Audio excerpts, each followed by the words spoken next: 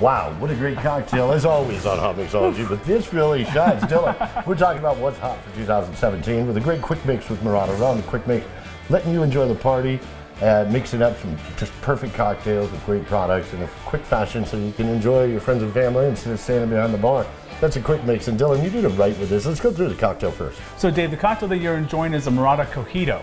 It's pretty much a Marauda coconut mojito. And what I did, Dave, is in a shaker tin, some fresh squeezed lime juice, some coconut liqueur, a little bit of simple syrup, fresh mint, and of course Marauda steel pan rum. Shook everything up, straight out into this double old fashioned glass, garnished with a mint sprig, a lime wheel, and drizzled some fresh coconut shavings right on top. Nice. What are we calling this again? This is the uh, Marauda Cohito. Marauda Cohito. Oh, like a mojito, but Mojito, coconut, coconut. yeah, co mojito. Great job. HotMixology.com, all the fun, all the flavors, how to get these products into your home and your bar.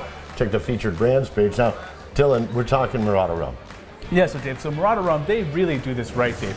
The Marauda rum itself comes from Charleston, South Carolina, and it's known as Marauda Steel Pan Rum, and it gets that name from discarded uh, steel uh, barrels that people in Trinidad actually converted into drums would play on. It's a blended rum of rums from Trinidad, Jamaica, and Guyana, and perfectly blended right here in the United States in Charleston, South Carolina. Uh, couldn't have said it better myself. It's Hot Mixology with a quick mix as we are enjoying the The, uh, the Marauda Cohito. Cohito with the great Marauda rum. Salute, Salute. everybody.